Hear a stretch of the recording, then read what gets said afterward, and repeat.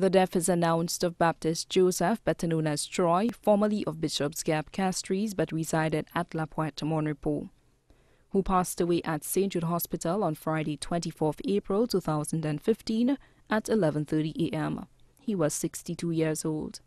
The funeral arrangements of the late Baptiste Joseph, better known as Troy, will be announced in a subsequent broadcast.